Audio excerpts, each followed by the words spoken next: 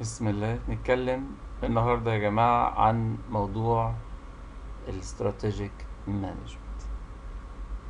طبعا إحنا لما بنتعرض للحديث عن التخطيط الاستراتيجي والإدارة الاستراتيجية والتفكير الاستراتيجي فإحنا بنتكلم كلام كتير قوي. يعني إحنا في ال في ال MBA مثلا لما بنيجي نشرح التخطيط الاستراتيجي أنا طبعا يعني واخد ال MBA من سنين طويلة وبدرب بدرب في ال branch ده بالتحديد وعندي اهتمام وعشق له بشكل شخصي يعني.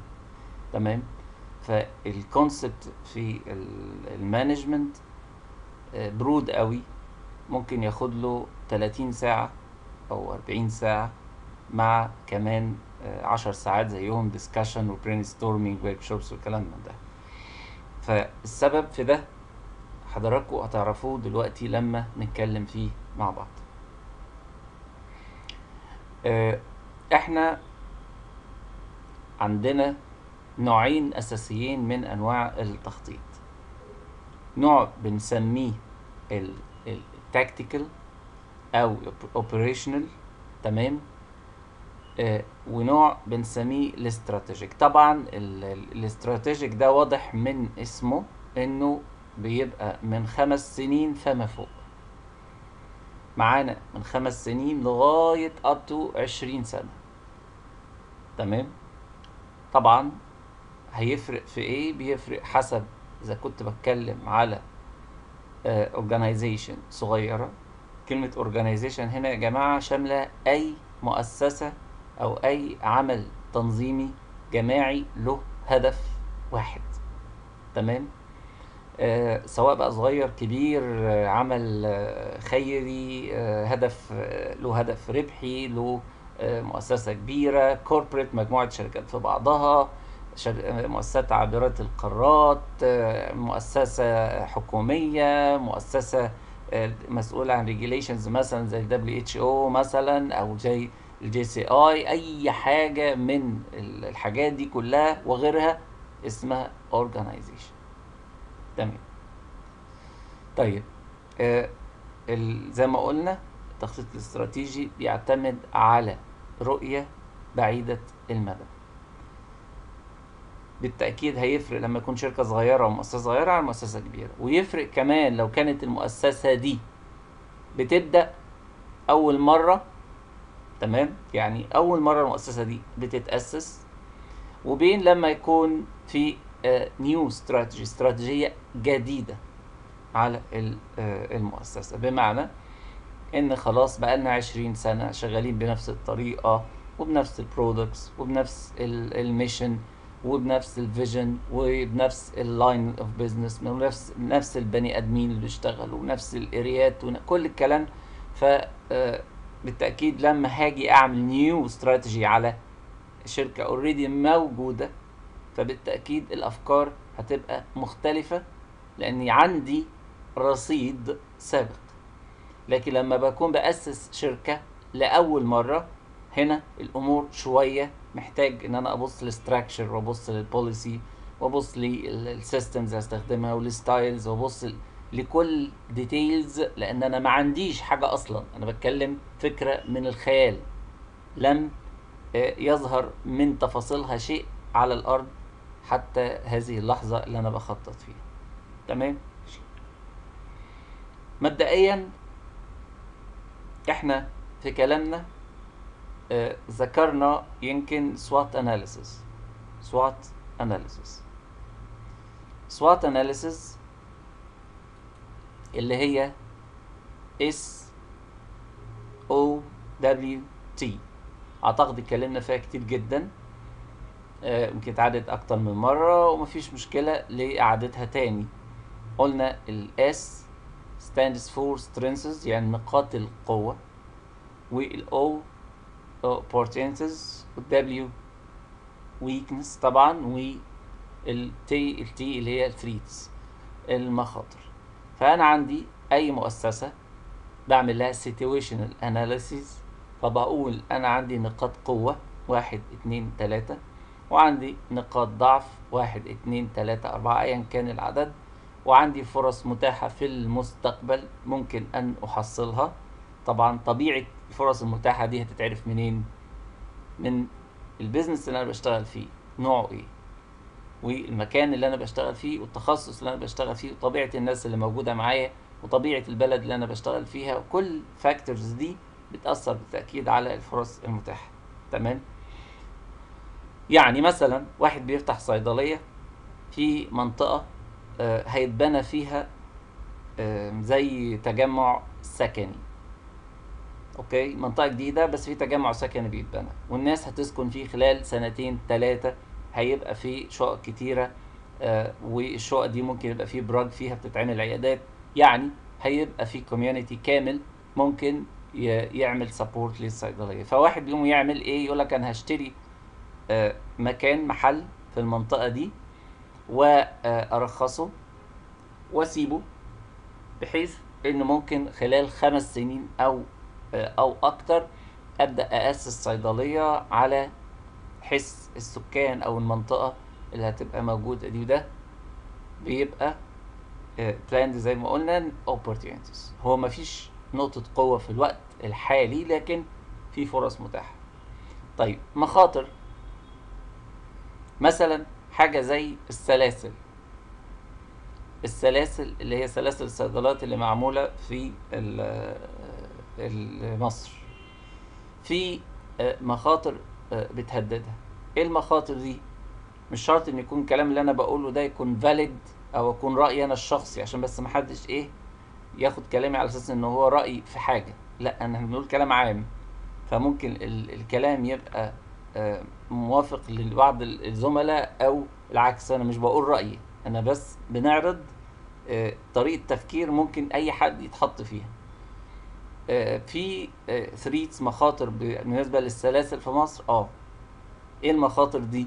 مش بس إن النقابات ضدها مش بس إن الصيدله الصغيرين مثلا مش interest اللي هم اللي عندهم صيدليات يعني مش interested فيها. كمان آه، طبيعة ال staffing والاستراتيجي بتاعة السلاسل إنها بتحتاج علشان تظبط نفسها وإنها تحافظ على ال competitive situation بتاعها اللي هو يعني المركز التنافسي. لازم آه، يكون عندها fund أو الامكانيه المادية والربحية آه، مستمرة بحيث إنها تقدر تصرف على هذا العدد الضخم من الموظفين. تمام؟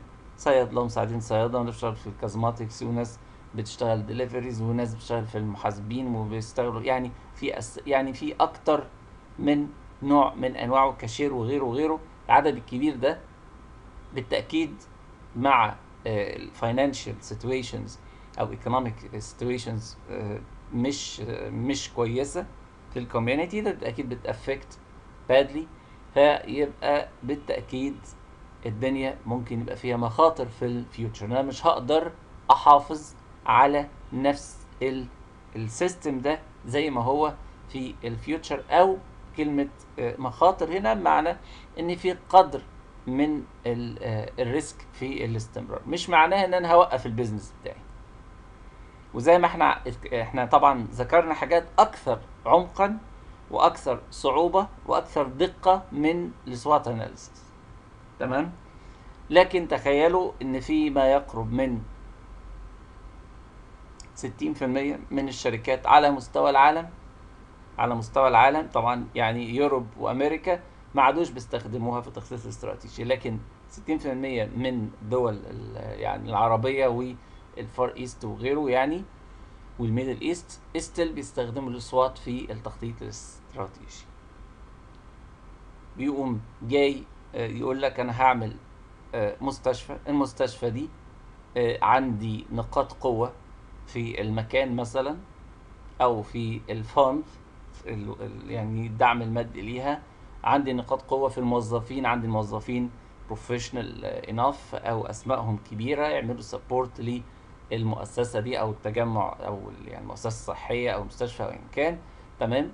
عندي آه، نقاط ضعف ممكن تكون في الأبنية إن المساحة عندي ما هياش كبيرة ما عنديش extensions أقدر آه، أوسع فيه بعد كده. تمام؟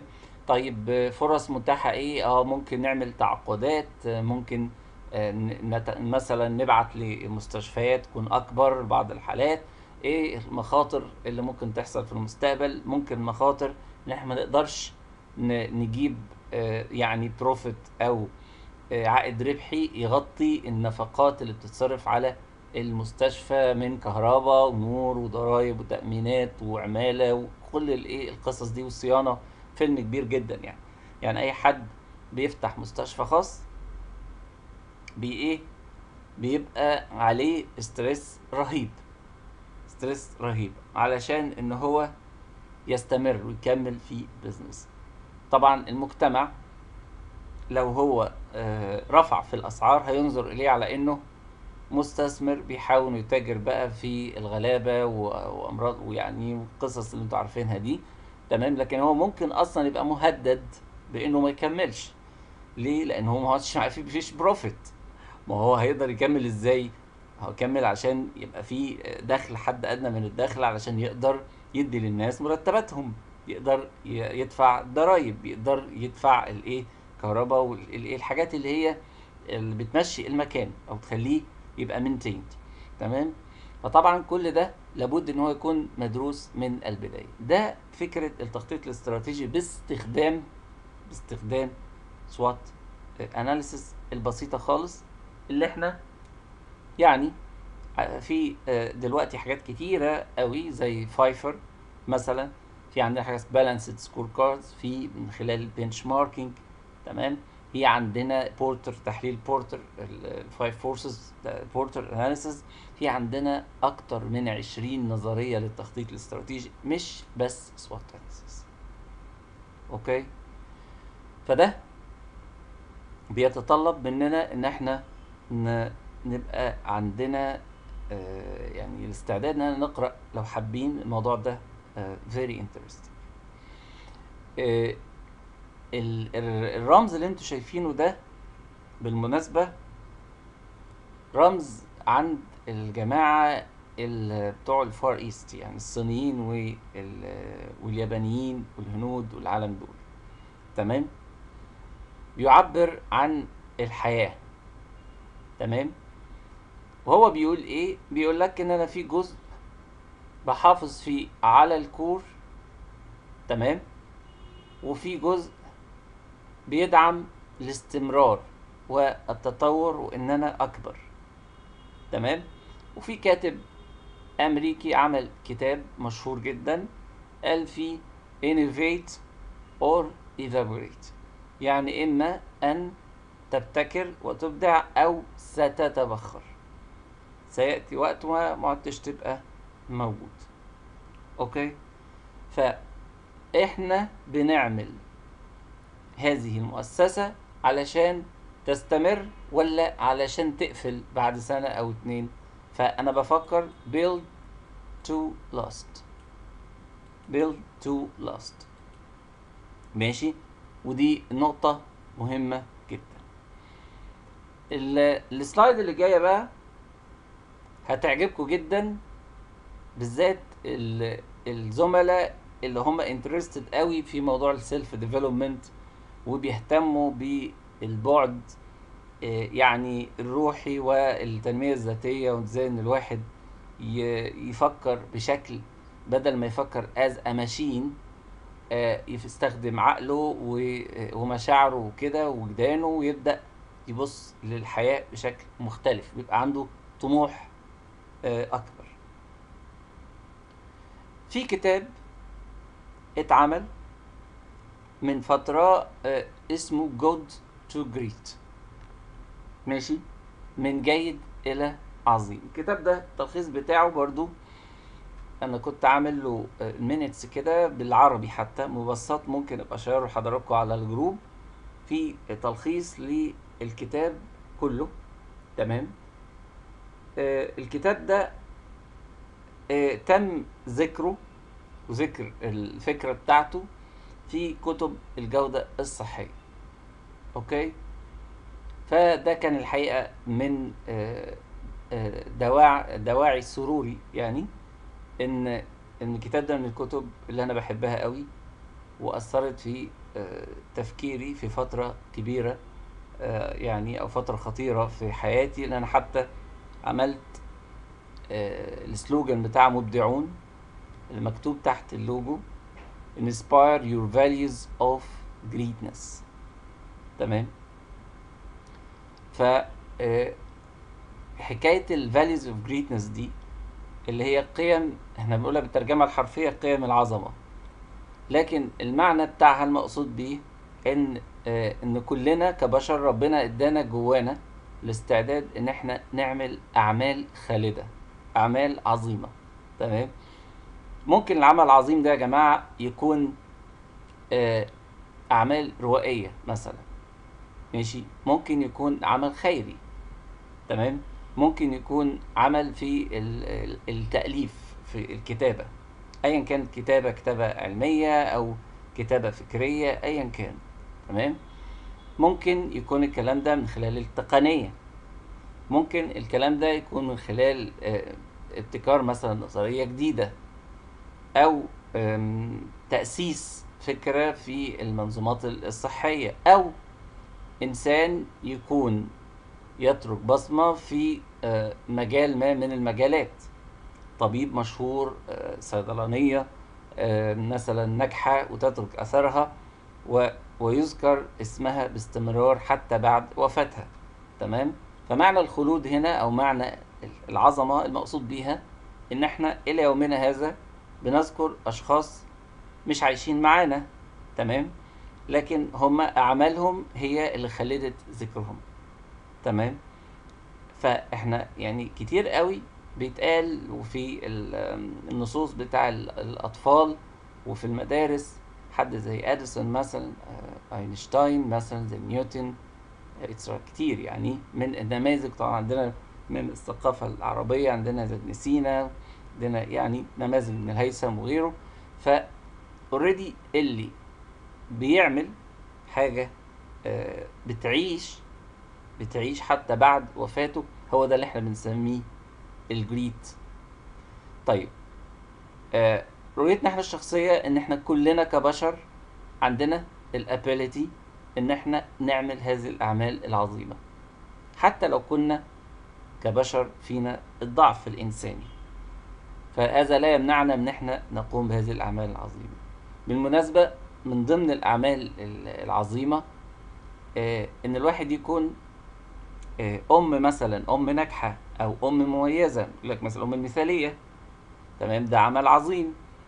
آه، ايا كان يعني ايا كان. فمش لازم كلمة greatness أنا مش مقصود بيها الشكل التقليدي أو الفهم التقليدي النمطي للايه لحاجه عظيمة يعني حاجة wow بقى يعني برج إيفل بقى الأهرامات حاجات من دي. لا طبعا. وده برضو نوع من أنواع التسطيح في الت- التعليم اللي إحنا اتعلمناه واتدربنا عليه أو يعني درسناه على مدار سنوات طويلة. فالفكرة باختصار إن إحنا نقدر قوي كلنا لو ركزنا أو دورنا على آه، نقاط التميز جوانا ممكن بقليل من الصبر والمثابرة والثبات على المبادئ والأفكار والتعلم من الأخطاء نقدر نبني خبرة الخبرة دي تترك بصمة بعد آه، يعني آه، عشرات أو مئات السنين تظل تذكر ولو في فئة معينة من البشر. تمام؟ فهقول لكم مثال بقوله للجماعة بقى لما بنكون عندنا محاضرة تنمية بشرية أو كلام من ده يعني آه، بنقول في مثال عادي بن عادي. إيه عادي بن عادي ده؟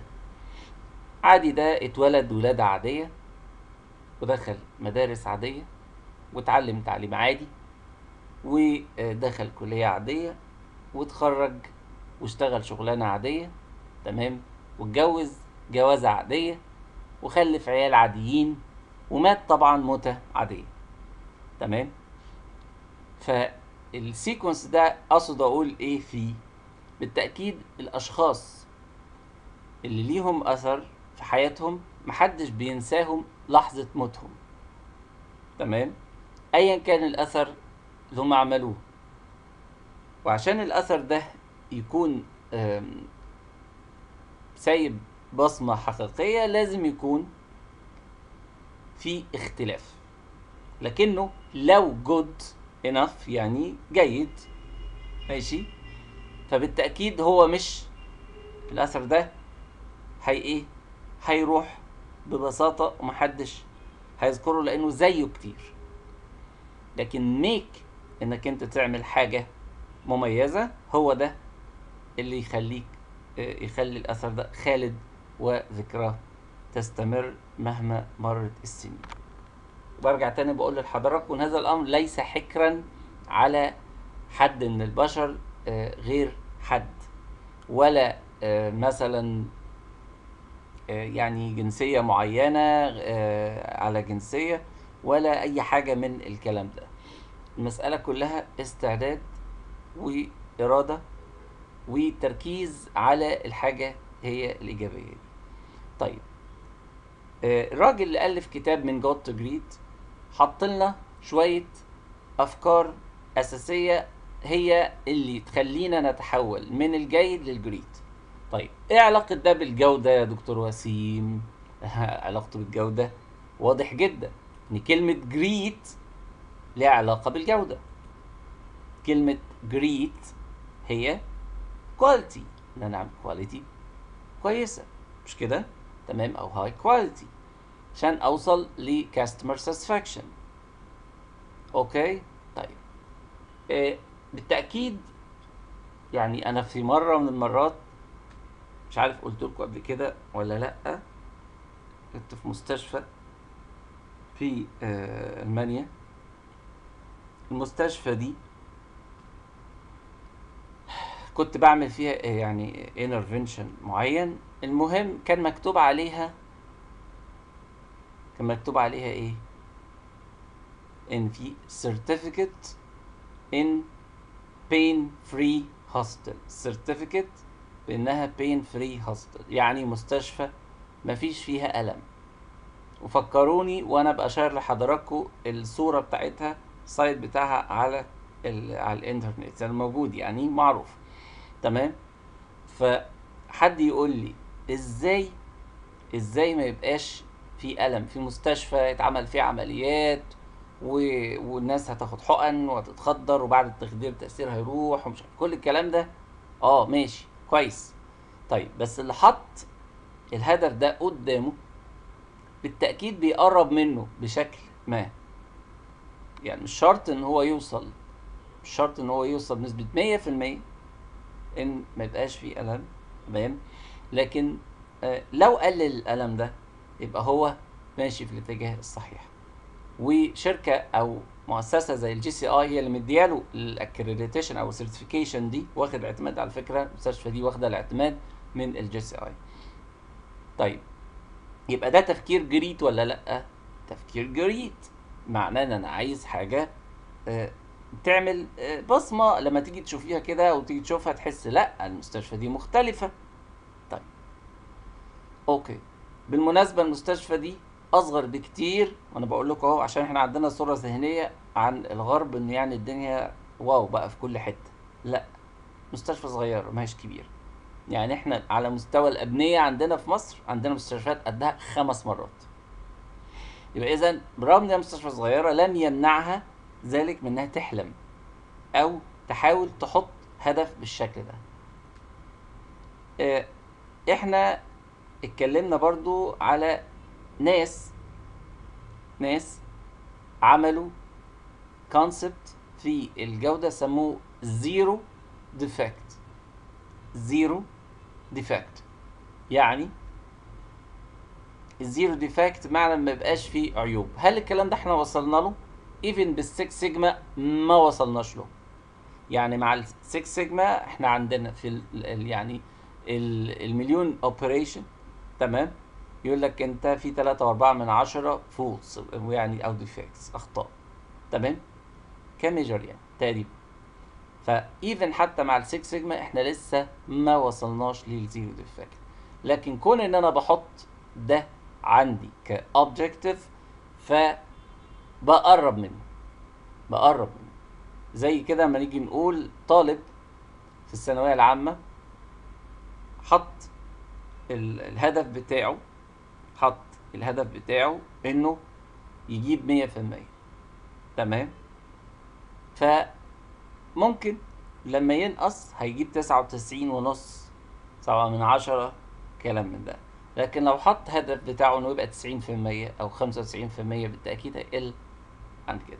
فهي ده ده الفكرة. ف ال concept إن أنت عند- عايز تعمل حاجة مختلفة ممكن تقرب منها حتى لو أنت ما وصلتش ليها بالشكل الإيه اللي يعني الحرفي. ماشي. الكتاب بتاع Good to Great ركز على ال items دي. okay؟ واحد اتنين تلاتة أربعة خمسة ستة. okay؟ سبعة دي مجرد يعني جملة آه، اعتراضية هنقول معناها إيه في الآخر. okay؟ فمش عايزكم تركزوا عليها دلوقتي. أنا هشرح لحضراتكم ببساطة شديدة.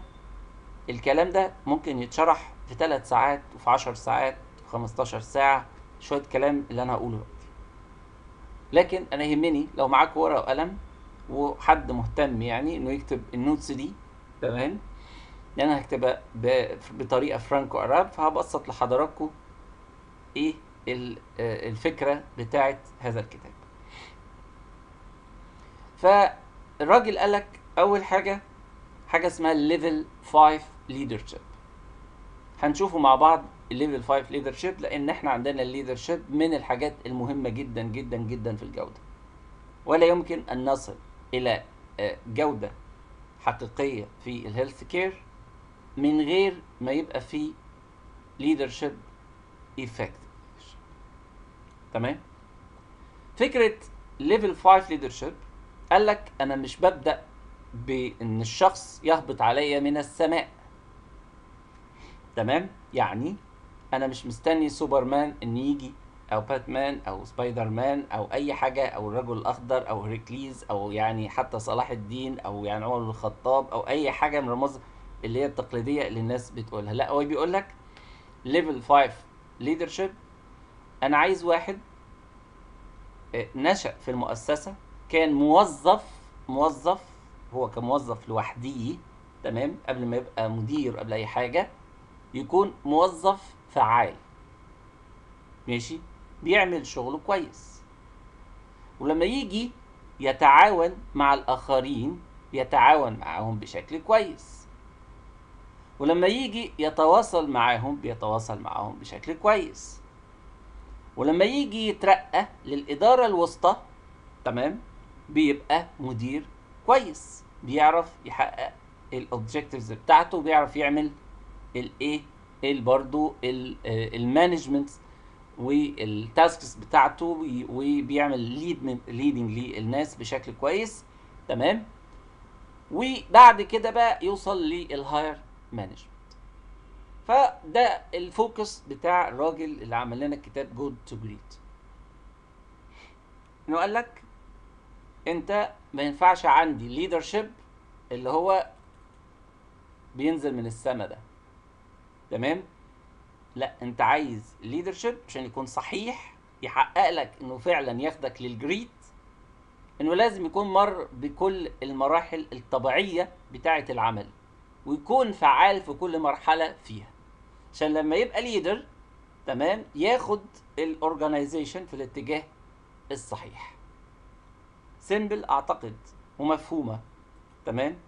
ف آه، في أي عمل في الدنيا طبعا مش شرط إن هو يكون لازم يكون من نفس ال organization مش شرط. لكن ممكن قوي ممكن قوي يكون اشتغل نفس الشغلانة في مكان آخر وعنده ال experience ويروح يشتغل في organization تانية. ده وارد. مفيش مشكلة. لكن لو أنا بتخيل حد مديرة صيدليات مثلا أو مديرة مستشفى خلينا ناخد المثال ده بشكل practical مديرة مستشفى. وفي competition على إدارة المستشفى ما بين صيادلة وما بين أطباء وما بين nurse كل بقى بي- بي compete على إدارة المستشفى. طيب أنا عندي C مثلا pharmacist هي ما كانتش effective في شغلتها الأساسية. ما كانتش professional فيها. ما كانتش بتعمل شغلها بطريقة مميزة. مش سايبة بصمة في شغلها كصيدلانية أو في ال task البسيط اللي كانت بتقوم بيه. تمام؟ وتواصلها مع زمايلها سيء للغاية. وما بتعرفش تشتغل في فريق. كل ما تخش في فريق لازم تعمل مشكلة. إما المشكلة لسوء فهم أو إنها ما بتحبش أصلا تشتغل في فريق. ولما فوض إليها مهمة بسيطة علشان تقوم بيها لم تقم بها بالطريقة الجيدة يبقى إذا مش هتنفع إنها لما تيجي تفكر تبقى leader للمستشفى مش هتنفع. يبقى لازم كانت تسأل نفسها الأول آه إنها تمر. طبعا أنا بتكلم من ال focus بتاع الراجل اللي ألف هذا الكتاب وال focus ده زي ما قلت لكم included في كتب الجودة دلوقتي بال updates بتاعتها. ماشي؟ فمش موضوع غريب عن الجودة أو موضوعنا اللي أنا اللي ضايفه مزاجي يعني. ف already داخل فيه الايه ال curriculum وال syllabus بتاع الايه ال healthcare quality فبقى يقول لك لازم يكون عندك ناس عندهم إيه الاستعداد وقاده لكن بالترتيب الطبيعي أو بالتدرج الطبيعي في كل مرحلة من المراحل. Okay? ماشي. علشان يوصلونا لعمل عظيم. لو بقوا قادة تقليديين والله ممكن يقوم بالعمل بشكل جيد لكن ده ملوش علاقة بال quality ال quality أو ال objective كون إن أنا أقول عمل جيد. طبعا قلنا كلمة جيد كلمة vague صحيح لكن زيها زي غيرها. لو أنا قلت مثلا مستشفى القصر العيني okay? مستشفى زي السلام مستشفى مثلا دار الفؤاد okay? في تفاوت مش كده؟ طيب لو أنا قلت سبعة وخمسين لو أنا قلت مستشفى بتاع مجدي يعقوب يبقى أنا داخل فين؟ في جريت. على طول حتى من غير من غير ما نفكر كتير يعني. واضحة؟ طيب. فبالتأكيد الايفورت اللي اتعمل في المستشفيتين اللي أنا قلتهم في الآخر خالص أو الطريقة اللي الناس شغالة بيها مختلفة تماما عن الطريقة اللي الناس شغالة بيها في المستشفيات الأخرى. عندنا برضو نموذج مشهور جدا في دكتور غنيم. في مستشفى الكلى في المنصورة والنموذج ده بالمناسبة نموذج عالمي. عالمي. أوكي؟ كلمة عالمي بمعنى عالمي بمعنى إنه ال standards بتاعته إن هو great ماشي؟ ما هواش آه حد عادي. طيب يبقى أول concept فهمناه وهنشوف برضو diagram له كمان شوية. تاني concept first who then what. قال لك طريقة ظريفة جدا مؤلف الكتاب. قال لك بص الأول أنت هتاخد مين معاك. تمام؟ ده عشان إيه؟ علشان تبقى جريت خلي بالكم. وبعد كده فكر هيعملوا إيه. تمام؟ فشوف مين اللي يركب معاك الأتوبيس تمام؟ وفكر بعد كده هتعمل إيه. ليه؟ قال لك لو أنت بتفكر في جريت objective أو great mission أو great vision ورؤية يعني عظيمة فخلي بالك خلي بالك إن لو أنت معاك أشخاص مش qualified enough ما هماش متعاونين مش عارفين شغلهم كويس ما هماش self motivated ما بيعرفوش يشتغلوا under pressure مش فاهمين يعني إيه ال basics بتاعت الشغلانة هيتعبوك. مش هتعرف تشتغل بيهم ولا هتعرف توصل بيهم لأي حاجة. وفعلا هذه هي الحقيقة المجربة واللي إحنا شفناها في أماكن كتير. First who then what? تمام؟ فبالتأكيد قبل ما أفكر في التفاصيل الصغيرة اللي أنا هعملها أو اللي عايز أعملها لازم أشوف الأشخاص الكواليفايد enough علشان يقوموا بيها. عايز أقول لحضراتكم في الشركات الكبرى لما بيجوا يختاروا موظفين بيختاروا الموظفين اللي يشبهوا ال culture وال values بتاعه الشركة. طبعا أنا يعني قلت لكم قبل كده اشتغلت فترة طويلة في جي ان جي وهوري لحضراتكم النهارده فيديو ظريف عن ال credo أو ميثاق الشرف بتاع J&J worldwide على مستوى العالم. تمام؟ وإزاي بي بي build ال values دي وأي حد بيشتغل في جي ان جي لازم يكون عنده ال values دي واضحة وبيطبقها وفاهمها كويس. تمام؟ أوكي. ف first who then what? شوف مين اللي معاك وبعد كده شوف هتعمل إيه. Confront the brutal facts. يعني واجه الحقائق. ولا تتا إيه؟ جنبها. مشكلة كتير من المؤسسات ان إن هم مبقوش عايزين يعرفوا الحقيقة. ليه؟ لأنها مرة أو مزعجة أو بتضايقهم. أو بتحسسهم إن في مشكلة كبيرة. طيب المشكلة الكبيرة دي قد تصبح مثل كرة الثلج بمرور الوقت.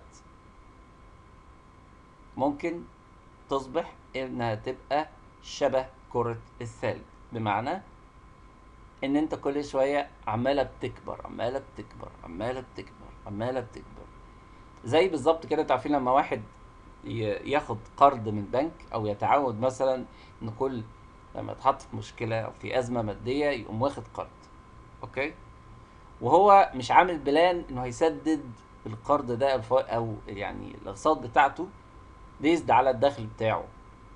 هو كل شوية بضمان كذا بضمان كذا بضمان كذا أنا من هنا أنا من هنا تمام من ده. ماشي؟ فبقى بياخد قروض من أربع خمس ست بنوك ويفاجئ يلاقي نفسه في وقت السداد عمال بي إيه بيأجل يأجل فالفوائد عمالة بتزيد كل شوية بدل ما كان عنده مشكلة في خمسين ألف بقت المشكلة في تلتمية ألف وربعمية ألف مشكلة في خمسمية ألف كل مدى ليه؟ لأن هو مش عايز يواجه المشكلة تمام؟ مع إنه لو واجه المشكلة في وهي في نصها مهما كانت الحقيقة مؤلمة لكنه هيختصر على نفسه الايه وأنا بنقل لكم خبرات حياة والله. يعني أنا بقول الكلام ده لله يعني أنتوا زي اخواتي. فصدقوني ده بيبقى مطلوب جدا لما الواحد يكون واخد قرار خاطئ ايا كان سواء على المستوى الشخصي أو على مستوى ال- العمل مستوى السفر على مستوى العلاقات ايا كان. فلازم يواجه القرار ده بوضوح أو يواجه ال ال يعني التحديات دي بوضوح وما يحاولش يهرب منها لأن ده أسهل حل أسهل حل على الرغم إن هو ممكن يكون مضايقه. تمام؟ ممكن يختار الوقت المناسب بس مش معنى ان يختار الوقت المناسب إن هو يقعد إيه؟ يأجل يأجل يأجل يأجل يأجل يأجل يأجل. لأنه بعد كده هيكتشف إن المشكلة بقت عشر مشاكل في بعضها. تمام؟ ف confront the brutal facts. أنت بتشتغل good وعايز تبقى great طيب حاجة مثلا زي إحنا مستشفى صغيرة ما عندناش clinical ماشي؟ ودي من الشكاوى اللي أنا بعيشها يعني ليل ونهار يعني مع أصدقائي وزملائي ويعني اخوانا من الصيادلة اللي عندهم مشكلة مواجهة challenge challenge في آه، الناس مش قابلة فكرة ال clinical أو عايزين يطبقوا والناس بيقول لهم طبقوا بس هم مش عارفين يطبقوا إزاي. عايزين يعملوا drug information center بشكل كويس بس مش عارفين يعملوها إزاي. تمام؟ تيجي تسأل أي حد لو حد حتى ممكن يكون ال- الحد اللي أنا بقول لكم عليه ده leader أو بلاش leader manager في المكان بتاعه مدير صيدليات مثلا. تمام؟ وعندها experience وعندها power بس مش قادرة تواجه الحقائق اللي عندها. ماشي؟ الحقائق دي ممكن تكون هي خايفة من آه، دكاترة معينين. خايفة إن يضيع منها الشغلانة. تمام؟ فلا مادام انت عندي عايزة توصلي إنك انت تسيبي أثر عظيم أثر مميز تمام؟ أثر يستحق إن الناس تلتفت إليه وتنظر إليه بالإكبار والانبهار وال يعني الشعور ب يعني السعادة والفرح به. وما بين أنت هتستمري زي ما أنت أو تشتغلي بنفس الطريقة اللي أنت بتشتغلي بيها. فلازم تواجهي الإيه؟ المشكلة القائمة. ايا كان. أحيانا في بعض الأشخاص بعض الأشخاص في بداية شغلهم بيبقى عندهم challenge ممكن يكون ال challenge ده له اعتبارات لها علاقة بالأفكار بتاعة البشر. إن كل واحد جاي من بيئة مختلفة تمام؟ وفي مقولة كده عن الجماعة بتوع ال NLP يقول لك is not a territory يعني الخريطة ليست هي المنطقة. فلما باجي أقول لك دي مصر على الخريطة أو دي السعودية أو دي السودان أو دي أمريكا على الخريطة بالتأكيد دي مش مصر ولا دي أمريكا ده دي صورة تصور ذهني ليها. تمام؟ كذلك الأشياء أو القيم وقناعات الناس بيكون ليها تصورات. كل واحد شايف من وجهة نظره الأمور بتتعمل كده. شايف من وجهة نظره أن الحياة أو الحقيقة هكذا أو إن الصح كده. تمام؟ لذلك أنا لما يجي واحد يقول لي في الواقع بقول له إيه؟ البحر مليان قواقع. تمام. يعني إيه بالواقع بتاع مين بالظبط؟ وليه بتفترض إن هو هو الواقع؟ الواقع ده من رؤيتك أنت. ماشي؟ أو تقول لي الصواب. الصواب بالنسبة لمين؟ عشان كده إحنا عندنا حتى even في في قلنا في quality assurance quality assurance إن إحنا بنشوف إن بنتأكد من مدى دقة المعايير نفسها. بننتقد المعايير. طيب يبقى معنى الكلام اللي هي confront the brutal facts أواجه الحقائق. يبقى أول حاجة level 5 leadership زي ما هنشوفهم كمان شوية هو خمس درجات لازم يمر بيها القائد ده. first who then what شوف مين معاك الأول وبعد كده شوف هتعمل إيه. تمام؟ confront the brutal facts يعني واجه الحقائق ولا تهرب منها. نيجي بقى ال hedgehog concept ال hedgehog ده يا جماعة اللي هو الاونفد تمام؟ ال concept بتاع القنفد معروف إن هو بيطلع منه pins كده ماشي؟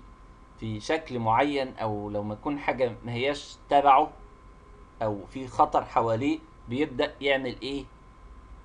يعمل حواليه كده آه زي سيركل أو بيحط نفسه في سيركل والسيركل دي يبقى فيها بينز وممكن تكون بينفول على آه لو حد قرب منه.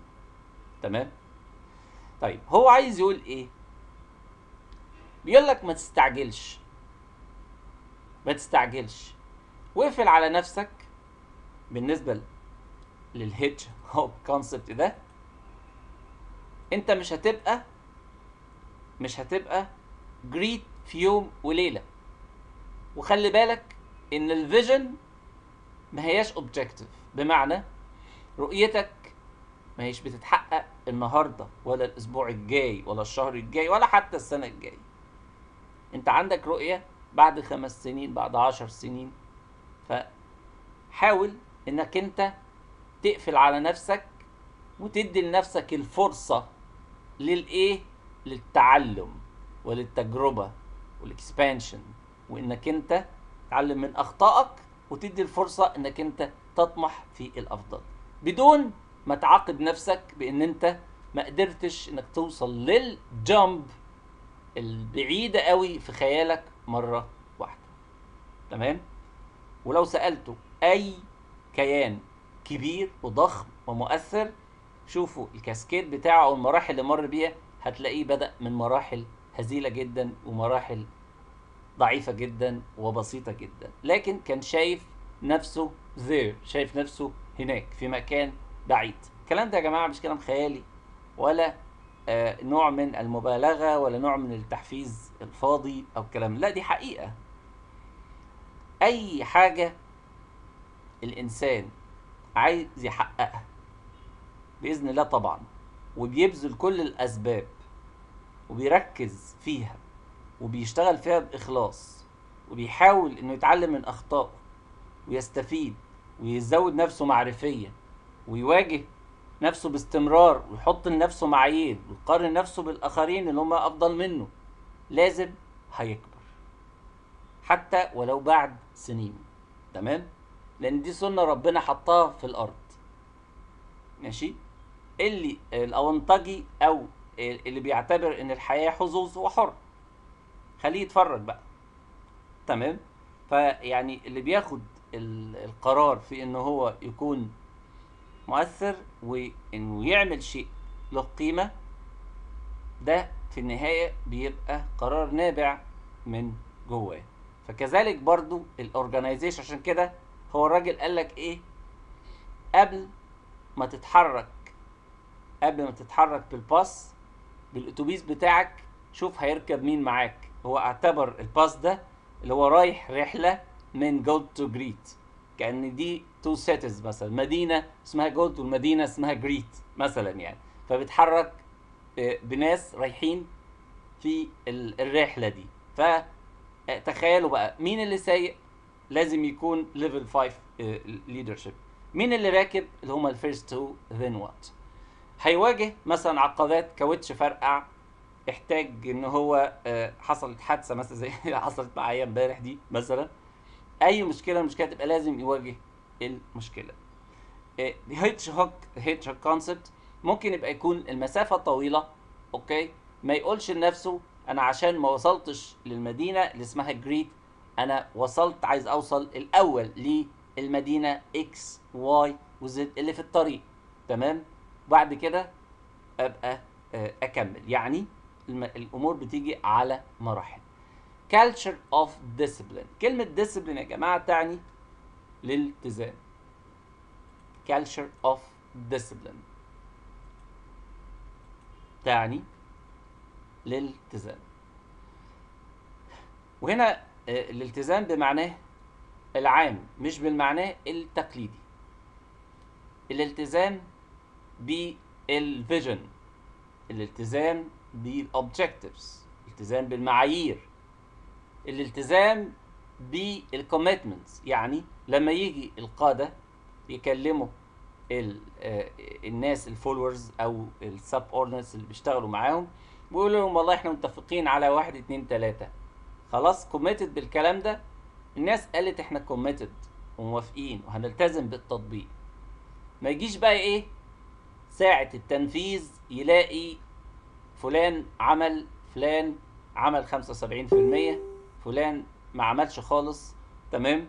فلان عمل 20% يبقى ده مشكلة وهي إيه؟ culture of discipline. يبقى عشان توصل ل great أنا عايز culture of discipline. يبقى أنا ما اتكلمتش هنا على لا innovation خلي بالكم ولا creation ولا genius ولا عبقرية ولا اتكلمت على حاجات خارقة. كل الكلام اللي هو بيقوله دلوقتي حاجات قابلة للتطبيق لو الناس فكروا في ال sequence ده. آخر حاجة اللي هي technology technology accelerators يعني إزاي تستخدم التقنية في إنها تسرع تسرع أدائك تخليك أفضل. ال technology دلوقتي يا جماعة إحنا بنشوف فيها إيه، الحلول الغريبة والعجيبة والمدهشة.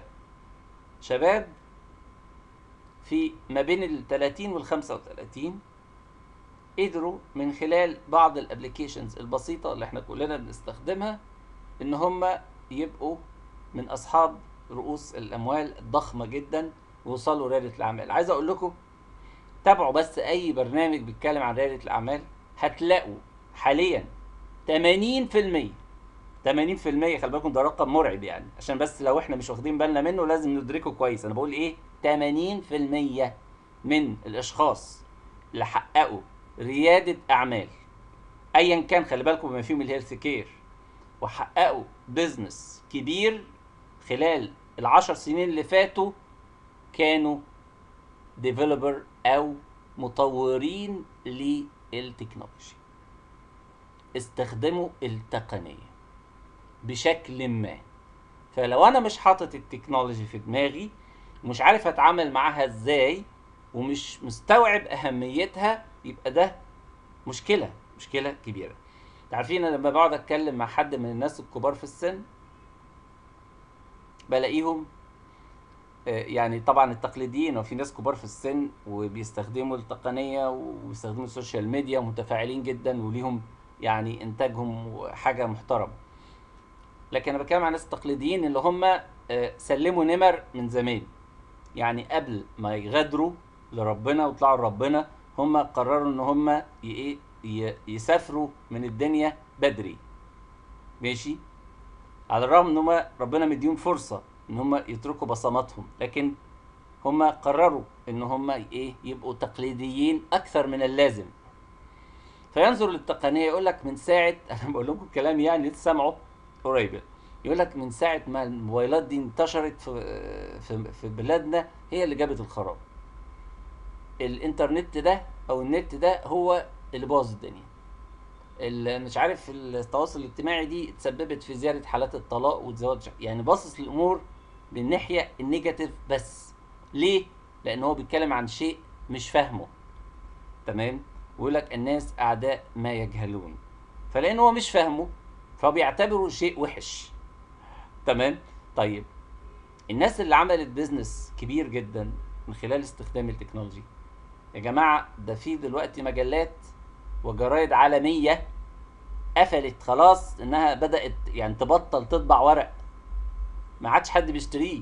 فاضطروا يحولوا ال ال يعني الجورنال إلى website إجباري لأن العالم خلاص بقى بيتكلم بلغة مختلفة. حاليا في ناس بتعمل investment في ال information technology قدرتها على إنها إزاي تحافظ على المعلومة أو إزاي تحلل المعلومة أو تعطي المعلومة. كل ده تخيلوا بقى يعني واحد عامل شركة لسه جزء من برنامج شايفه امبارح واحد مصري بالمناسبة في أمريكا. ناجح جدا في ريادة الأعمال وعمل آه، site وعمل خدمة خدمة تحليل البيانات. يعني مثلا حضراتكم مثلا عايزين تأسسوا drug information center ماشي؟ آه مثلا يعني. وبناء على ال drug information center ده أنتوا عايزين تشوفوا لو أنتوا حاطين criteria انه عايزين نوصل نبقى من أحسن 10 مستشفيات عندها آه مركز المعلومات الدوائية أو drug information center فبتقوموا تتواصلوا مع الشركة دي تجيب لكم تحليل وتفاصيل عن أفضل عشر مثلا يعني أفضل عشر مراكز آه، معلومات دوائية على مستوى جمهورية مصر العربية أو في الوطن العربي. مثلا يعني معاييرهم إيه؟ الناس اللي بتشتغل فيهم بيستخدموا application شكلها إيه؟ عدد الموظفين الخبرات ال training course اللي بياخدوها ال- العدد السنين اللي هم اشتغلوا فيها إزاي بيعملوا reporting إيه ال organizations اللي بيتعاملوا معاها إيه ال accreditation اللي واخدينها إيه الشهادات الاعتماد ال- ال- اللي واخدينها تواصلهم إزاي مع الدكاترة كل ال details دي. هي دي هي دي سبب ال power الحقيقي هي المعلومة. فده واحد هيتعب علشان يجيب المعلومة ويحللها تمام؟ ويحط التفاصيل بتاعتها ويبعتها لمن يريدها. بالتأكيد اللي عايز يعمل business ويكون مميز وناجح فيه هيدفع في هذه المعلومة. هيدفع ثمن للمعلومة. وده واحد ال business بتاعه كله كده. مجرد إنه بيباصي معلومات للي عايزها. أنت بتاع زراعة ومحتاج معلومات في مجال معين؟ آه خد اتفضل. أنت بتاع صناعة وعايز معلومات في إنتاج مش عارف إيه؟ طب خد. أنت بتاع مش عارف تنقيب عن المياه الجوفية في مش عارف أي حاجة؟ طب أجيب لك معلومات وأحللها لك وأديها لك وديك ال details بتاعتها وأعرفك. تمام؟ وأديها لك. okay. والكلام ده كله بمقابل. تمام؟ فالعالم الآن نحن أصبحنا يا أصدقائي في عالم أو في عصر إنتاج المعرفة. كنا بنقول من فترة قريبة المعلومات أو عصر ثورة المعلومات أو انفجار المعلوماتي الكلام ده بقى موضة قديمة خلاص. بح إحنا الزمن اللي بنعيشه دلوقتي اسمه عصر إنتاج المعرفة. فاللي عنده ال- إنتاج المعرفة أو اللي عنده القدرة على آه، تملك المعلومة واستثمارها وتوظيفها وبيعرف يتعامل مع الأدوات الحديثة وبيعرف يتدرب عليها بسرعة ويطورها ويضيف فيها هو اللي هيكون له مكان أفضل في المستقبل. عايز أقول لحضراتكم واحد فني بتاع IT sorry يعني ممكن يبقى مش مهندس ولا حاجة بس ايا كان بقى بكالوريوس تجارة أو أي حاجة يعني. واتعلم عنده experience و skills كويسة في التعامل مع إزاي يعمل database أو يستعمل من خلال ال information technology صح في مستشفى من المستشفيات. تمام؟ يعرف يعملها ده هيبقى مكانه أهم من صيدلي. معقولة؟ آه. هقول لكم ليه.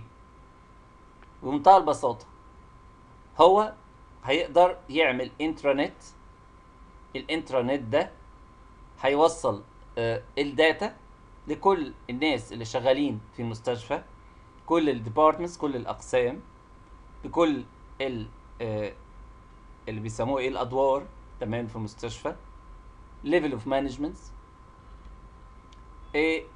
إزاي يعرف يوصل للمعلومة ال updated والصح وبسرعة؟ إزاي يعمل system secured محطوط عليه ال database بتاعت ال patients و updated ويعرف يجيب المعلومة من أي موقع من المواقع؟ كل الكلام ده technology ماشي؟ آه ذاكر أنت 10 سنين في كلية طب ذاكر 15 سنة في صيدلة وماجستير ودكتوراه. ما علينا. طب وبعدين؟ في النهاية ال technology أنا بس ب... ب... يعني بعمل stress على القصة دي عشان لازم نبقى عارفين إن دي لغة العصر. لغة العصر. اللي مش هيتعامل مع ال- ال technology أو هيبص لها على إنها شيء غريب أو خايف منه يبقى هو اللي إيه؟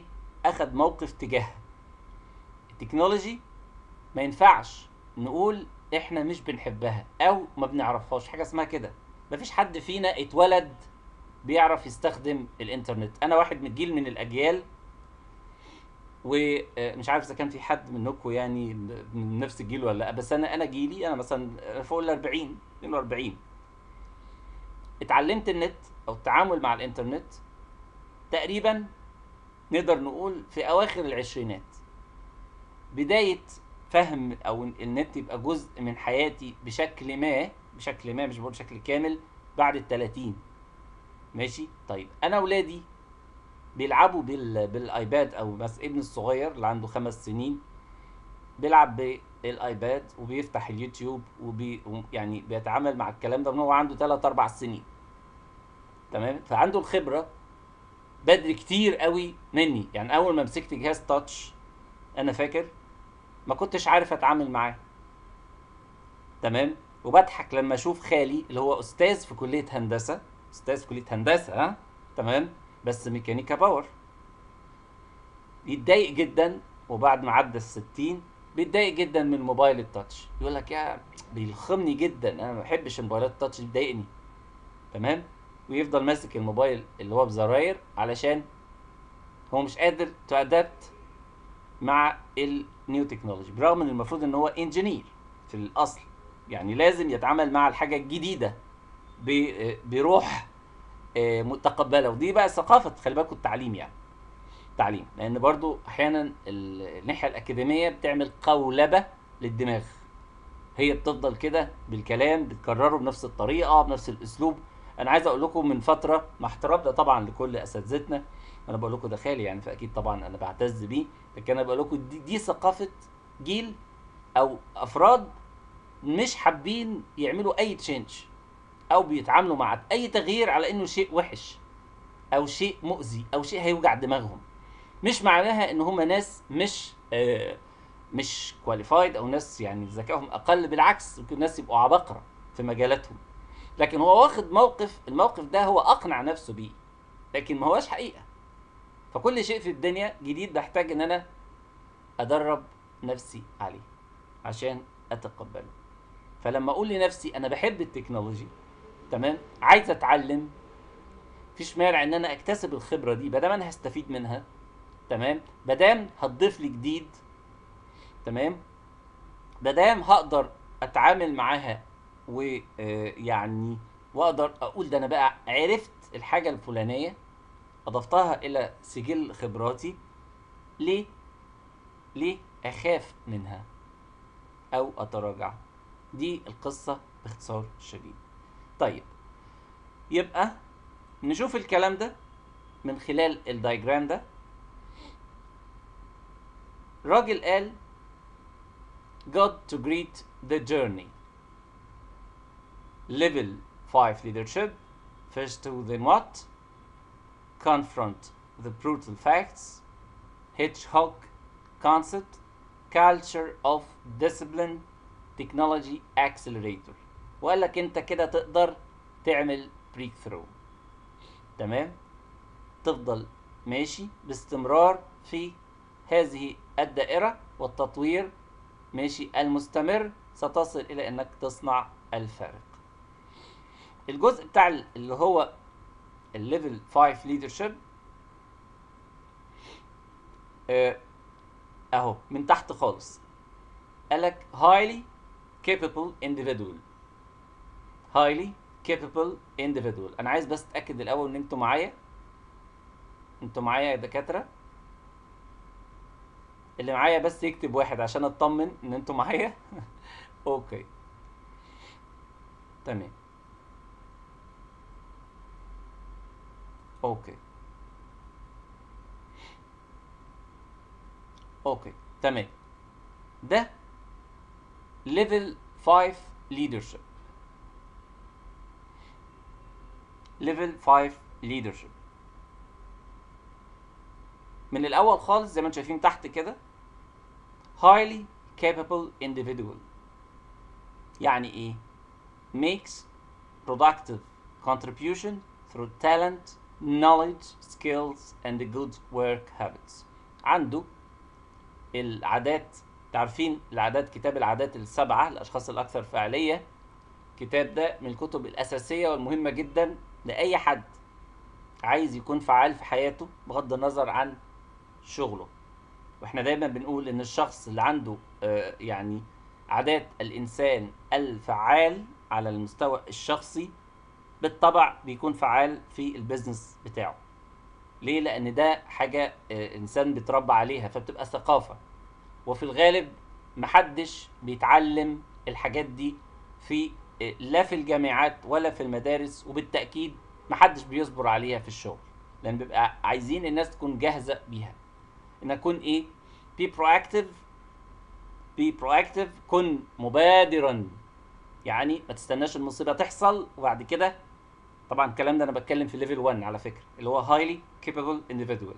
ينطبق عليه العادات السبعة بتاع الأشخاص الأكثر فعالية. اللي هي أول حاجة proactive تمام؟ تاني حاجة ابدأ والنهاية في ذهنك يعني انت شايف start وال end النهاية في في دماغك شايف المخيلة بتاعتك. تالت حاجة حاول أن تفهم الآخرين حتى يفهموك يعني بادر أنت الأول. ما تقولش الناس مش فاهماني حاول تفهمهم عشان هم يفهموك.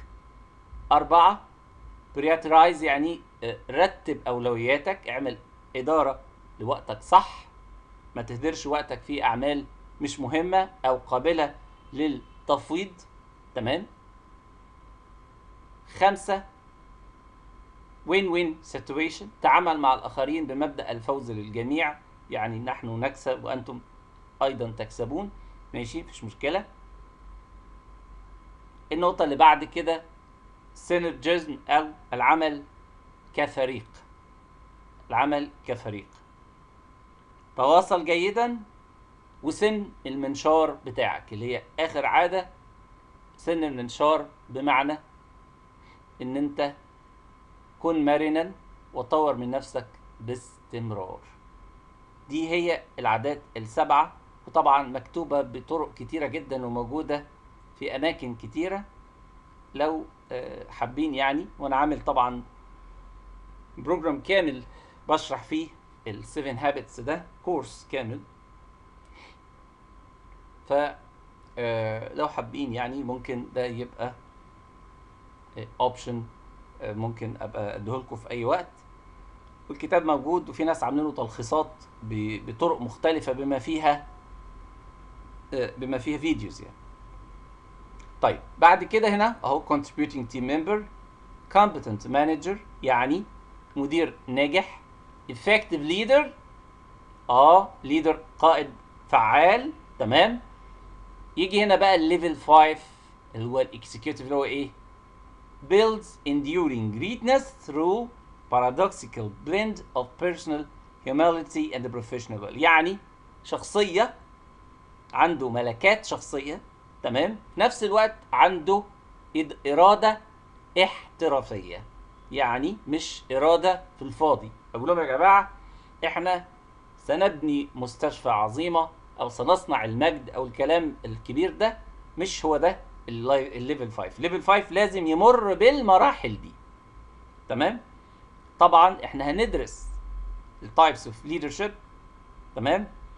وأنواع ال leadership وهندرس كمان ال healthcare ال healthcare leader لأن ده له كمان بقى له criteria criteria تختلف عن ال leader العادي. تمام؟ فمش بس إحنا بنتكلم في management لأ. كمان ال healthcare دخلوا ال leadership ب rules وقواعد آه، مختلفة. طيب. عايز أقول لحضراتكم نقطة كمان على ال- الحتة بتاع ال hedgehog concept في حتة برضو ظريفة وجميلة. مش عايز برضو أستطرد قوي في كل التفاصيل بتاع الكتاب بتاع Good to Great أنا كل اللي يهمني فيه إن حضراتكم تعرفوا ال five أو 6 points اللي إحنا قلناهم. وبعض التعريفات. آه، الفكرة هنا بتاع ال hedgehog concept إن إزاي أنت تعمل من خلال ال three circles أو 3 circles دول. هيعجبوكوا قوي. هيعجبوكوا قوي. هنا بيقول إيه؟ What are you deeply passionate about? يعني الشيء اللي انت تجد فيه نوع من التعاطف والحماس والرغبة في عمله. What you can be best in the world. إيه الحاجة اللي انت تقدر تكون مميز فيها في العالم؟ What drives you economic engine? تمام؟ يعني ال passion والحاجة اللي انت تكون فيها كويس هي دي اللي هتجيب لك income تمام؟ ولما يجي لك income هيزود عندك الايه؟ احساسك بالرغبة في الاستمرار والتطوير ان انت إزاي تكون افضل. بعد كده هتلاقي آه، ال profit أو ال benefit يكون اكبر. فمش هبدأ مش هخلي الدافع عندي ان أنا من البداية هو إزاي أجيب فلوس أكتر؟ لا أنا هبدأ. ده على فكرة برضو ده اتكلم على إيه يا جماعة؟ اللي هو من Good to Great اللي عايز آه، اللي عايز good بس لوحده هو خلاص. okay ماشي وده قراره. لكن based على ال specifications بتاعت ال quality اهو قال لك شوف الأول انت بتحب إيه وازاي تقدر تكون مميز فيه تمام؟ وده هو هيكون اللي هيجيب لك الفلوس.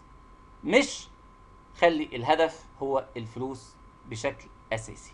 فطبعا ال circle دي أو 3 circles دول مش هم التقليديين أو اللي اتعودنا عليهم آه، في آه، يعني في حياتنا أو أو في طريقة دراستنا أو تعليمنا وشغلنا. ما تعودناش إحنا على كده.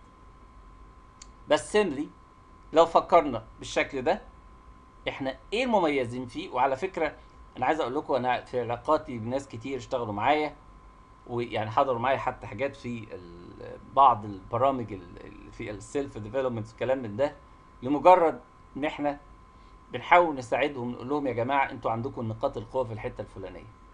أول ما بيعملوا focusing عليها وبيصدقوا نفسهم وفعلا بيبدأوا يشتغلوا بيلاقوا output و outcome ما كانوش يتوقعوه. ما كانوش يتوقعوه. ليه؟ هم عاملين under estimation نفسهم يعني مقللين من قيمة نفسهم. تمام؟ ف what are you deeply passionate about الحاجة اللي انت بتجد نفسك آه، منتشي وبتحب ان انت تعملها تمام؟ وبالتأكيد ده لا يتناقض مع ال discipline بالمناسبة. يعني أنتوا ممكن تشوفوا الناس اللي هم عملوا great job في آه، في العصر اللي إحنا عايشين فيه لو انت جيت تشوف مثلا حياة واحد زي بيل جيتس ولا ستيف جوبز ولا آه، يعني أي اسم من آه، الأسماء الكبيرة جاك ويلش أو غيره أو غيره هتلاقوا الأسماء دي الناس دي كانت ممكن تشتغل 14 ساعة في اليوم بتقوم بدري قوي بتنام متأخر ممكن تنسى إنها تاكل ممكن تنسى حاجات كتيرة قوي ممكن تبقى بالناس تان... بالنسبة للناس تانية ما تقدرش تعيش من غيرها.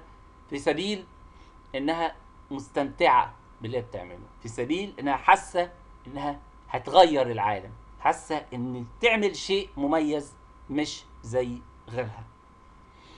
آه، ويمكن دايما أنا بقول وبنصح يعني إن الناس تشوف الفيديو بتاع ستيف جوبز وهو بيعرض الآيفون لأول مرة أعتقد 2007 أو around الايه السنة دي.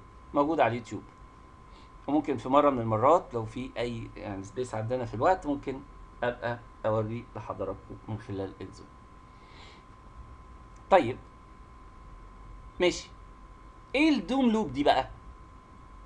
خلي بالكم. إيه ال doom loop ده اللي هو السيناريو ال- المقترح لمن آه، سيرضى بإنه هو يكون good بس. طبعا disappointing results يعني نتائج محبطة وغير متوقعة تمام reaction without understanding تفاعلات أو ردود فعل من غير فهم تمام من غير استيعاب للموقف new direction program leaders event for or acquisition. تمام؟ ماشي. No build up no accumulated momentum. طبعا السهم هنا نازل لفين؟ لتحت. دوم لامب يعني لوب يعني الايه إن أنا واخد زي ما بقول لك تعرف واخد ال- السفينة أو المركب وتغرق. عارفين تعبير المركب بتغرق؟ التعبير شهير يعني. ماشي؟ المركب بتغرق بينا. تمام؟ ده ال cascade. تمام؟ آه. فهنا ال new direction program leader event كل الكلام ده مش موجود. خارج نطاق الخدمة.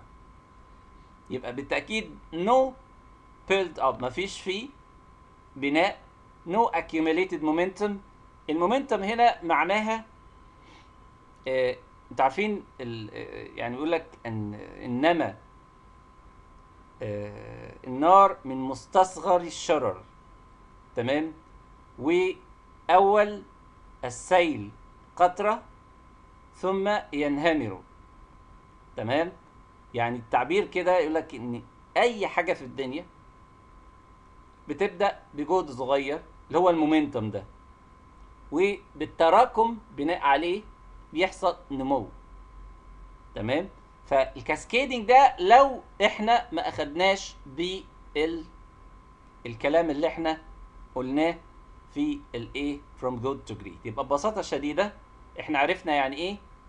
5 leadership style. عرفنا يعني إيه؟ إن إحنا هنواجه المصاعب بتاعتنا مش أو التحديات بتاعتنا مش هنطنشها تمام؟ واجهها آه، بمنتهى ال- الشجاعة والوضوح وعدم الخداع الشفافية وإن إحنا نتعلم من ال hedge hedgehog ده اللي هو ال- ال- القنفد اللي هو ال style بتاعه إنه بيحاول يقفل على نفسه. وبرده ال three circles إن أنا بخلي الدافع عندي حاجة بحبها ومميز فيها هي هتجيب لي فلوس مش أنا بشتغل عشان عايز فلوس فأقوم أشتغل حاجة أنا مش كويس فيها ومش بحبها وبالتالي يبقى أنا بخسر. تمام؟ ف plus بقى ال discipline الالتزام plus ال information acceleration إزاي أستخدم ال technology في إنها تخليني أتحسن لقدام. okay. فاضل أقول لحضراتكم على بعض الأمور البسيطة على ال organization strategy ماشي؟ على ال organization strategy في بعض الحاجات ال key لازم نبقى عارفينها. هوريكم بس الجزء ده.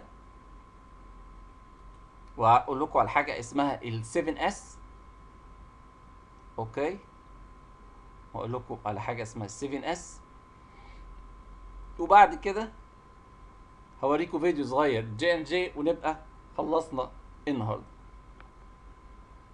كل اللي أنا مطلوب من ال presentation الجزء اللي إحنا قلناه في الأول الجزء اللي إحنا قلناه في الأول إن نعرف from good to great الكذا تعريف اللي إحنا ذكرناه تمام؟ وال آه ال doom doom loop اللي إحنا بتاع إلى المركب اللي بتغرق دي ال cascade بتاعها. ونبقى فاهمين how to deal مع ال concepts دي. طبعا إحنا في ال leadership هناخد معلومات أكثر عمقا وتفصيلا تمام؟ دلوقتي بتنقل لموضوع مهم جدا اللي هو ال core اللي هو ال core بتاع الإيه؟ ال strategic management model. يعني إيه استراتيجي؟ يعني vision mission values goals objectives تمام؟ وهنعرف بعد كده حاجة اسمها ال GOOMs. تمام؟ نبقى عندي في جول وفي objectives وفي outcomes وفي حاجة اسمها measures. هنعرفهم بعدين. بس واحدة واحدة. إيه ال vision. ال vision تعني رؤية أو نقطة في المستقبل عبارة في الأصل عن أرقام. تكون في الأصل أرقام. يعني رؤية مثلا بتاعت سافولا أرجو إن تكونوا بتكتبوا ورايا الكلام ده لأن أنا هقوله بشكل مختصر جدا ومفيد يعني. يعني الحمد لله بالخبرة بنعرف نلخص الكلام بشكل آه، في آه، في جمل مختصره فالرؤية معناها نقطة في المستقبل فيها نوع من الخيال وبتتلخص في أرقام. في مثال ثلاث خمسات.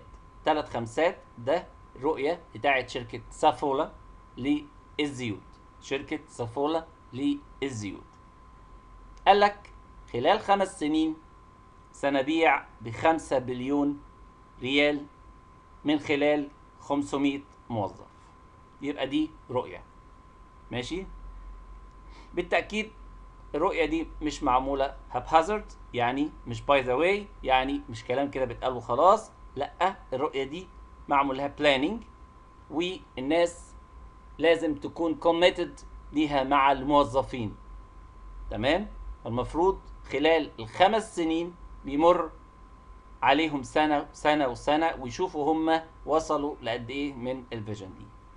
ال mission تعبر ال mission تعبر عن القيم والمنتجات تمام؟ طبيعة الخدمات اللي بتقدمها الشركة وتشعر بالفخر. رسالة رسالة ممكن تبقى من 10 12 كلمة تمام؟ وإذا كان ال vision الصح في ال vision إنها تكون حروف آه sorry إنها تكون أرقام. الصح في ال mission إنها تبقى كلمات. تمام؟ هديكم مثلا مثال ل آه بتاعت ماكدونالد مثلا. مطاعم ماكدونالد. قال لك إيه؟ إشباع شهية العالم من خلال إنتاج طعام جيد بسعر مقبول.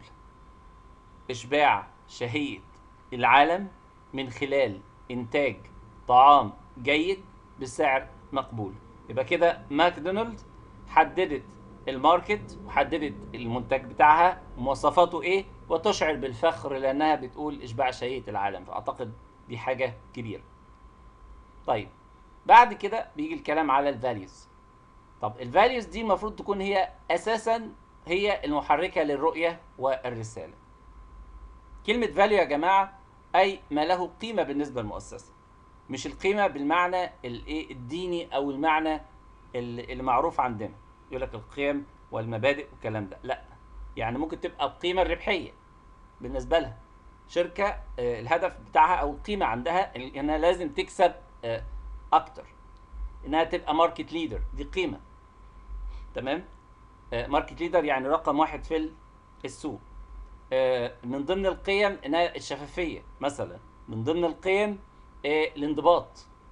تمام؟ من ضمن القيم الجودة. من من ضمن القيم سرعة الخدمة. تمام؟ من ضمن القيم يقول لك إن إحنا آه، بنعمل customer relation إن إحنا علاقاتنا مع ال- آه، العملاء بنعتبرهم partners أو بت- بنتعامل معاهم ب respect أو customer service مميزين في خدمة العملاء. تمام؟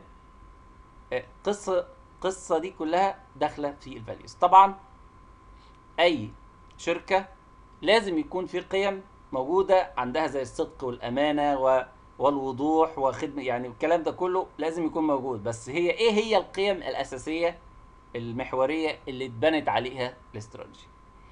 طيب كلمة goals هي كلمة أعم من objective. طيب كلمة objective كلمة لازم أو يعني هدف يعني لازم يكون SMART specific هنقول الكلام ده بالتفصيل إن شاء الله يعني المرة الجاية. بس باختصار كده وأنا متأكد إن كتير من حضراتكم أكيد سمع الكلام ده قبل كده. يكون الهدف specific محدد measurable بيتقاس تمام؟ agreed يعني متفق عليه. و realistic يعني منطقي وال T اللي هي time frame يعني محطوط له مدى زمني. طيب آه، ال SMART دي أو الاختصار اللي أنا قلته ده ده بتاع هارفارد بتاع جامعة هارفارد فيقول لك لازم الهدف بتاعك يكون specific تمام؟ measurable agreed يعني متفق عليه. تمام؟ و realistic وله time محدد. بمعنى لو جه حد من ولادي مثلا أو ولادكم قال لنا إيه؟ آه يا ماما أو يا بابا أنا إن شاء الله هبقى متفوق في المرحلة الإعدادية. مثلا يعني. ده كلام ده objective مش objective عشان يكون specific لازم يحدد متفوق يعني إيه. تمام؟ يعني مثلا إن شاء الله في أولى إعدادي أو في تاني إعدادي أو في تالتة إعدادي في نهاية السنة آه، هكون آه، واحد من الخمسة الأوائل. تمام؟ على مثلا الإدارة التعليميه مثلا. okay؟ ده اسمه objective إحنا بنربي ولادنا على إزاي يصيغوا objective بشكل صحيح. لما يجي موظف يقول لمديره إن شاء الله يا فندم الشهر الجاي نتائجنا تكون أحسن. ده مش objective لو فضل المدير يسمع الكلام ده من الموظف يبقى هو معلش يعني مدير فاشل. ليه؟ لأنه لازم يصحح المفاهيم دي عند الموظف. يبقى عارف يعني إيه كلمة objective يقول له يعني إيه؟ يعني بيع كويس. يعني إيه أدائي هيكون أفضل؟ هو أفضل بالنسبة لإيه؟ ما هو أنا كده مش هعرف أحاسبه. تمام؟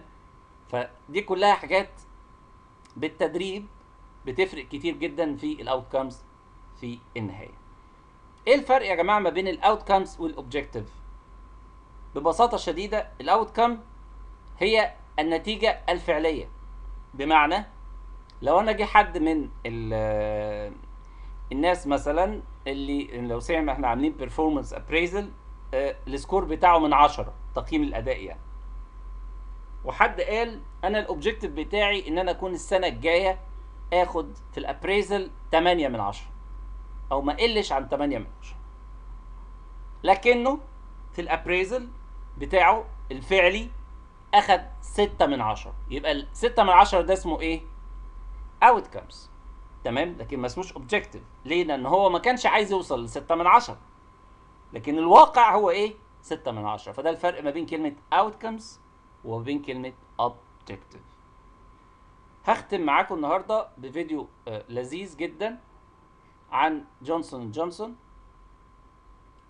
و آه إزاي ممكن نحط code of ethics يعني ميثاق للأخلاقيات بتوضح إحنا علاقتنا آه مثلا لو بتكلم على مؤسسة صحية علاقتنا بالمرضى. إيه؟ التزامنا بالنسبة للمرضى التزامنا قدام المجتمع التزامنا قدام الموظفين اللي هم الدكاترة والصيادلة والتمريض والشغالين في الأعمال الإدارية التزامنا قدامهم إيه؟ التزامنا أمام الحكومات اللي فاتحين فيها أو التعامل مع ال policies والسياسات الكلام من ده. كل ده بيبقى اسمه code of ethics جونسون جونسون كان عامل حاجة اسمها ال credo تمام؟ فأنا هوريكم فيديو صغير قوي. طبعا ال credo ده أنا كنت فترة من فترات كنت شغال في جي ان جي وكان في تابلو كده مكتوب فيه الحقوق دي والواجبات ب طبعا الفلسفي أو الفاليوز بتاعه المؤسسة. مش كل الشركات طبعا تبقى زي بعضها. مكتوبة باللغة الإنجليزية وطبعا في ترجمة لجميع لغات العالم. يعني كل واحد حسب اللغة بتاعه تلاقي الكريدو ده مكتوب بالاسباني والطلياني وكل لغات العالم. فهنشوفه مع بعض أفتح لكم الفيديو ونشوفه مع بعض.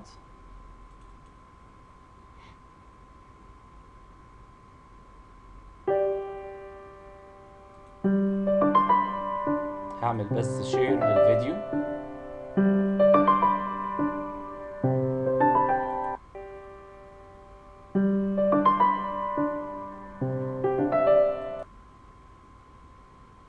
اتاكد بس الأول.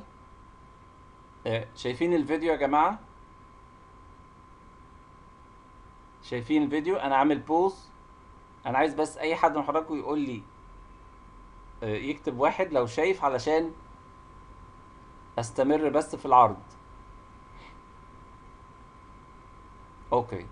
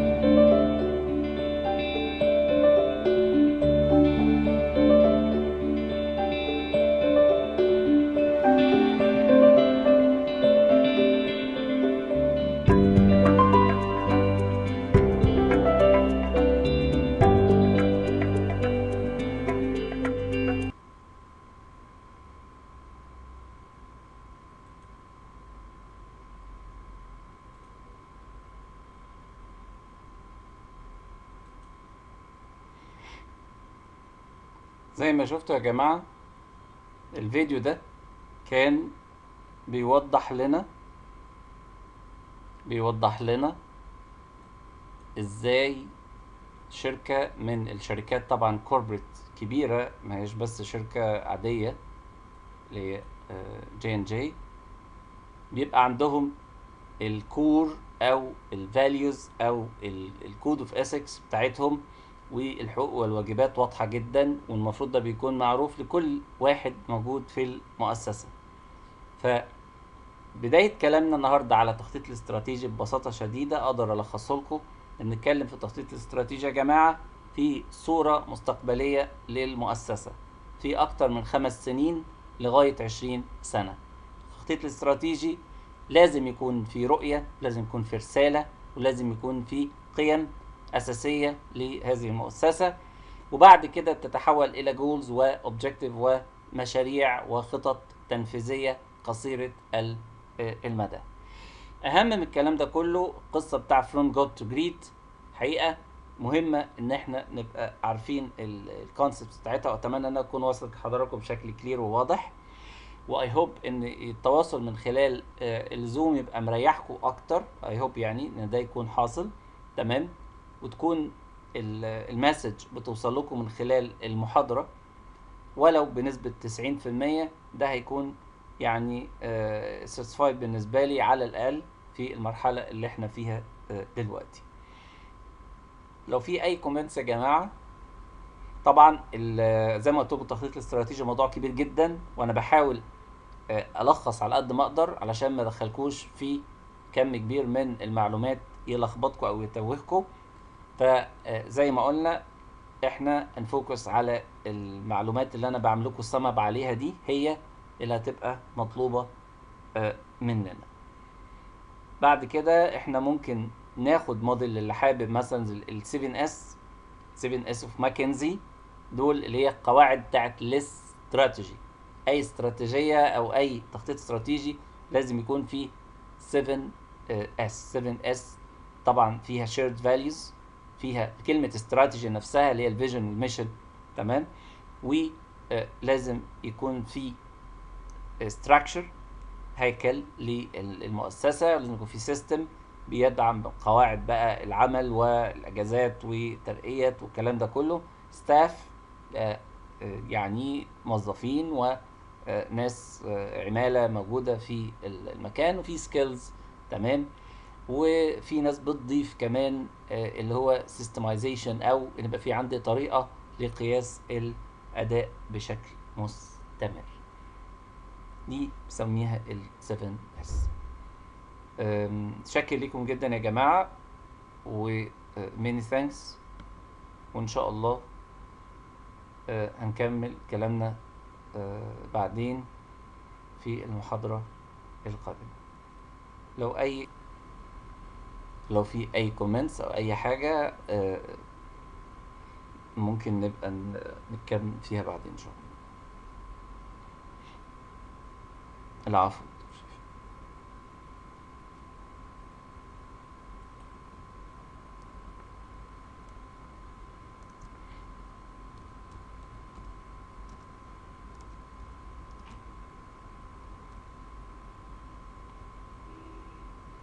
تمام أنا رفعت ال handout رفعتها.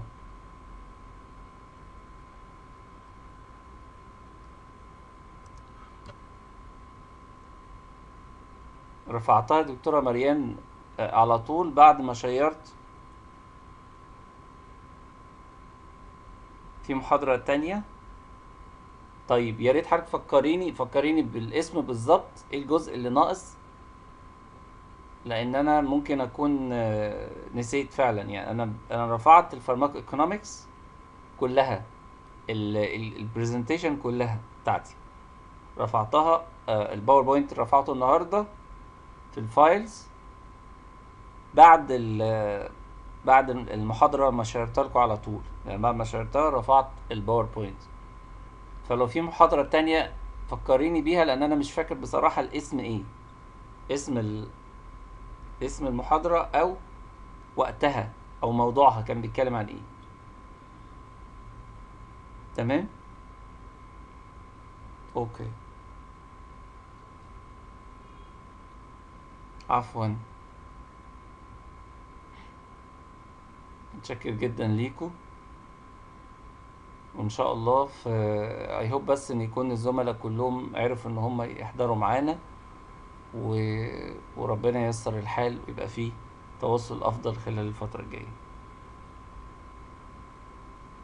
ماشي جماعة اتفضلوا. مع السلامة.